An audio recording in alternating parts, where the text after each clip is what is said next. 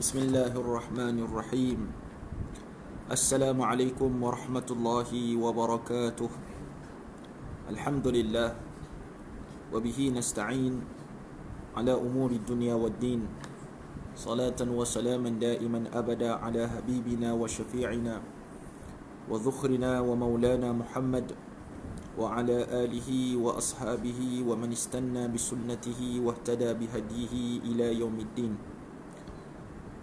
Nabi sallallahu alaihi wasallam menyebut dalam satu hadis Man yuridillahu bihi khairan yufaqihu fid din atau kama qala sallallahu alaihi wasallam Nabi kata sesiapa yang Allah nak kendakinya kebaikan maka Allah Subhanahu wa taala akan memahamkan dia dalam urusan agama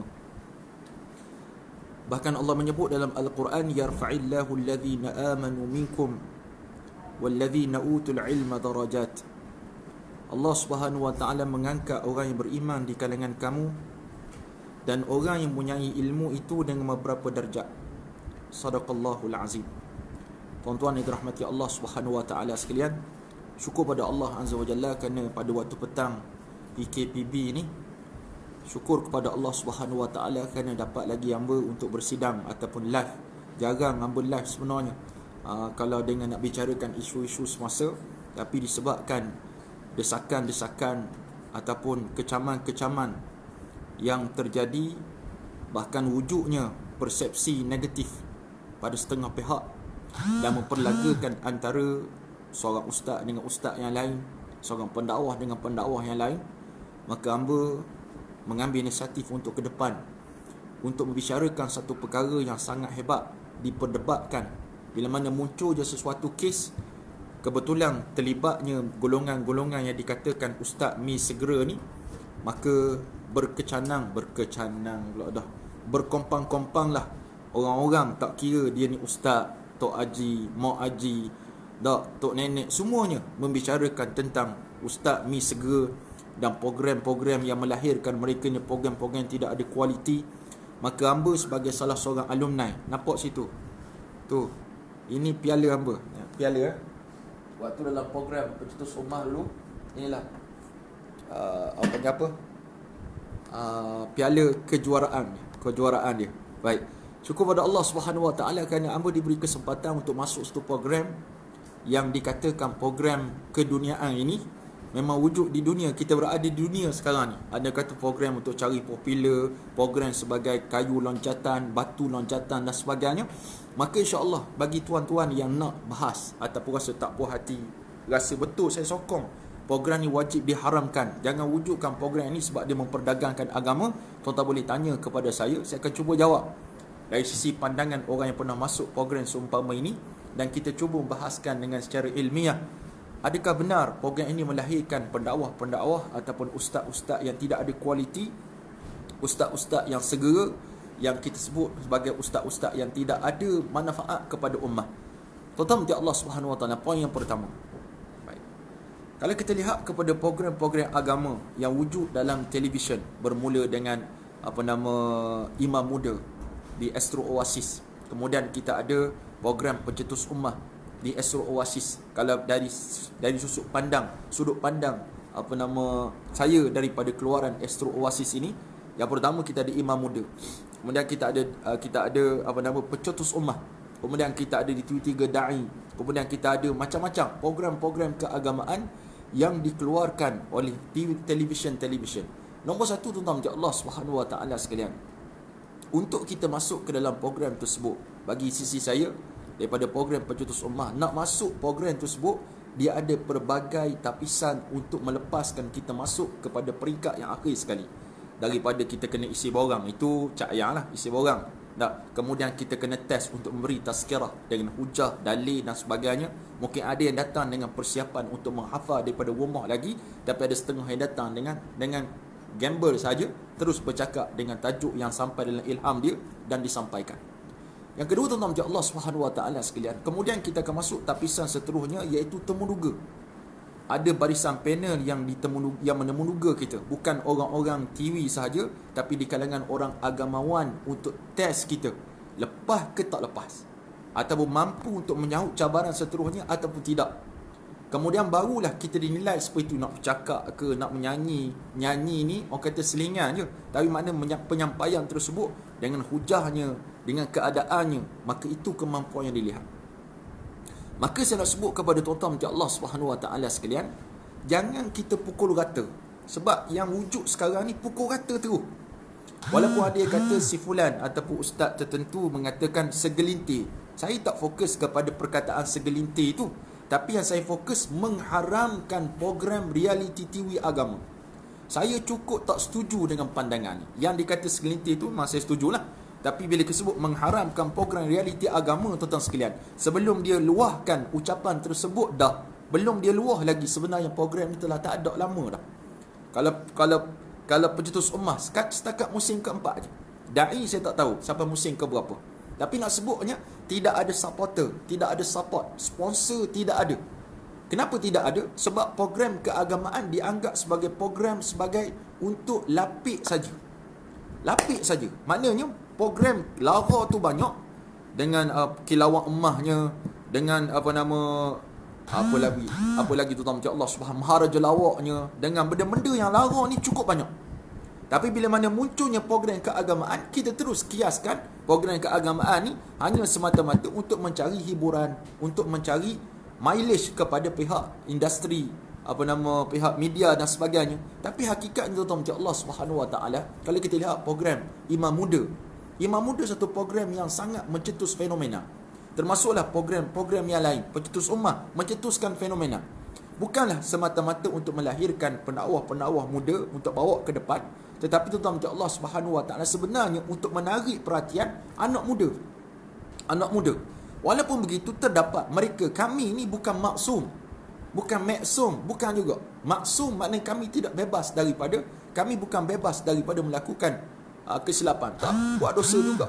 Kadang-kadang tersilap, tersasu, ter, terjatuh, tergelincir dan sebagainya. Maka hadirin Allah Subhanahu Wa Taala kalau kita letakkan satu tahap kayu ukur yang sangat tinggi kepada pada keluaran agama ni tak betul lah. Namun begitu hadirin mati Allah Subhanahu Wa Taala sekalian, kita kena sedar satu benda. Bila wujudnya program ini dia sebenarnya dapat sekurang-kurangnya memberi pilihan kepada masyarakat rakyat Malaysia untuk melihat oh ada program agama. Kalau contoh pencetus ummah malam Jumaat ada program pencetus ummah. Tapi sekarang malam Jumaat ada apa? Tazkirah malam Jumaat kita nak tengok. Forum perdana kita nak tengok. Jarang kecuali makcik-makcik beda, makcik-makcik bawang dan sebagainya, sukalah tengok program-program gitu tapi bagi anak muda, saya pengalaman saya sendiri. Bagaimana seorang rockers rambutnya panjang, masya-Allah tabarakallah. Goreng ni, goreng dia burger, burger. Saya sampai ke hotel tersebut, bukan hotel five star tuan-tuan, hotel cak ayam je. Tapi dia jual burger bawah tu. Dia kata macam kenal muka ustaz ni. Ni ustaz PU ke dia kata. Tengok tuan-tuan mati Allah. Saya masa pergi ke masjid, saya pergi ke Melaka program ni, pergi ke Melaka. Saya pergi ke sebuah masjid.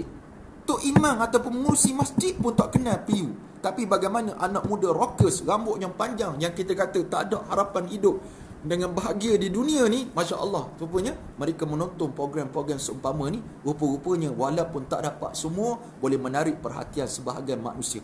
Tak semua orang rajin ke masjid dan surau. Apatah lagi musim PKPB ni. Bayangkan tuan-tuan Allah Subhanahu Wa Taala kalau ada syarikat rancangan televisyen yang melaksanakan program reality TV dalam musim PKP ni, saya rasa meletup tuan-tuan Allah Subhanahu Wa Taala sebab ramai orang akan menontonnya. Tapi disebabkan tidak ada supporter tadi, yang banyak support program-program dosa, program-program lara dan program keagamaan dah di-stop awal-awal lagi program yang melahirkan orang yang mi segera. Ini satu stigma yang perlu tuan-tuan betulkan. Kenapa saya kata betulkan macam ni? Nombor satu hujah saya. Kebanyakan yang sebut macam ni tuan-tuan macam Allah. Mereka ni juga pernah pergi program semua ini untuk audition. Tapi mereka tak dapat. Hujah saya pertama. Bila mereka tak dapat dan mereka frustru dia kata ni program tak tak guna dan sebagainya. Ini tak betul tuan-tuan macam Allah SWT. Cuba mu dapat program. Masuk program tersebut.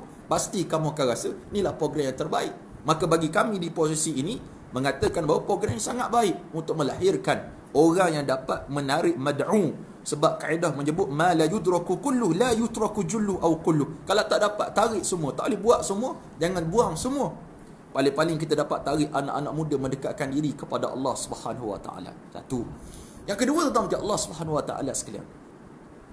Kalau wujudnya program orang-orang yang melakukan kesilapan.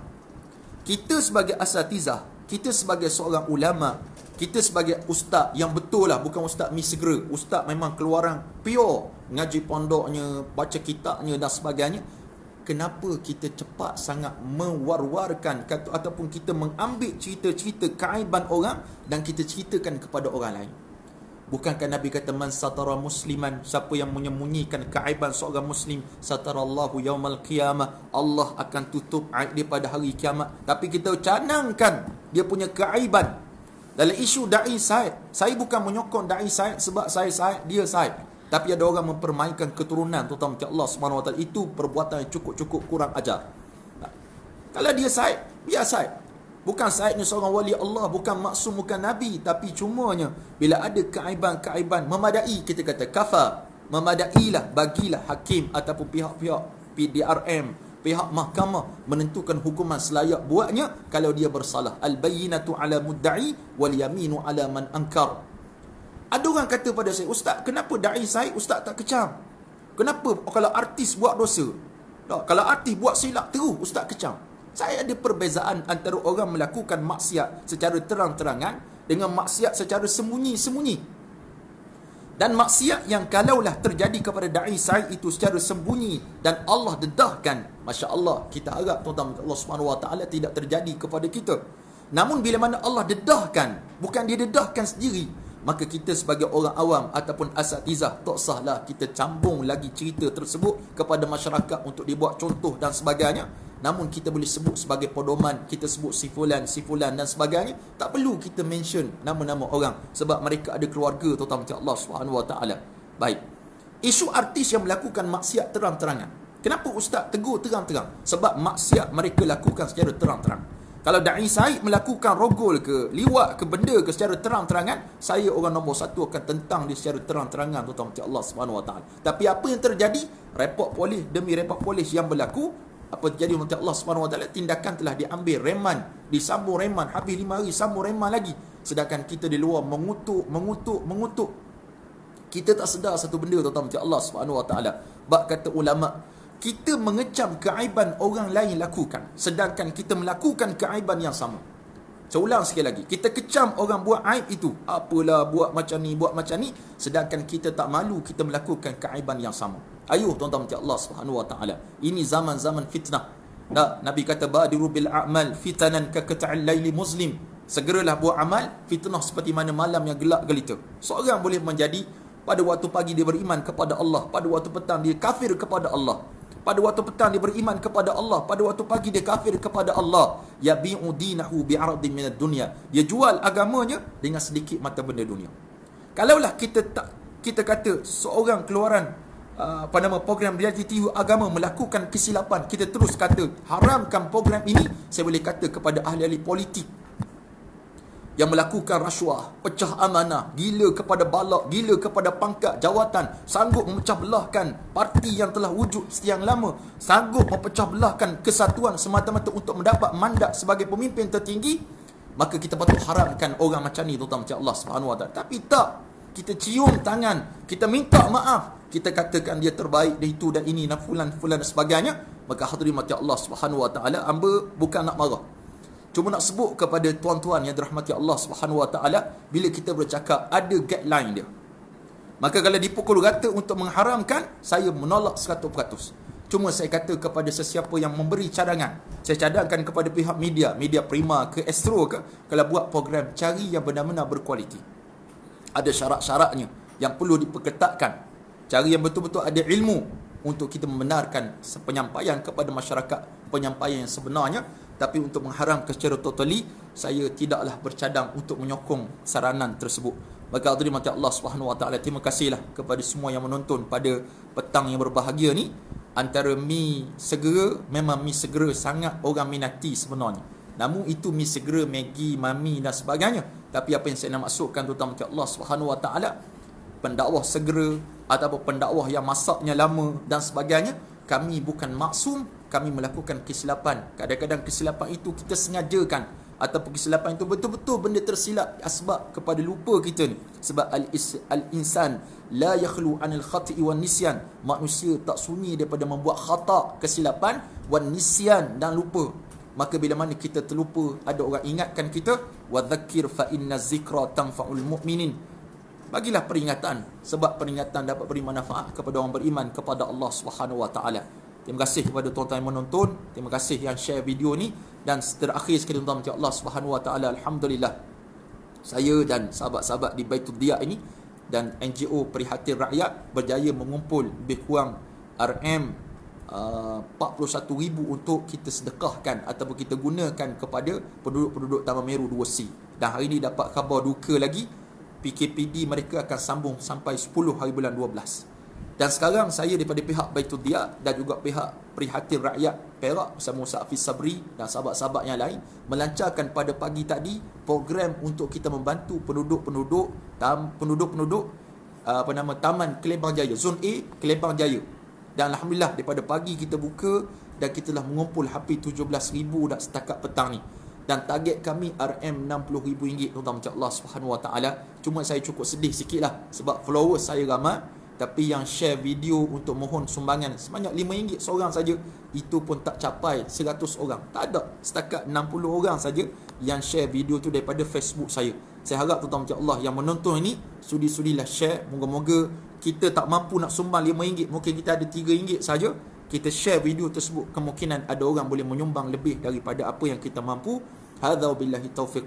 Assalamualaikum warahmatullahi wabarakatuh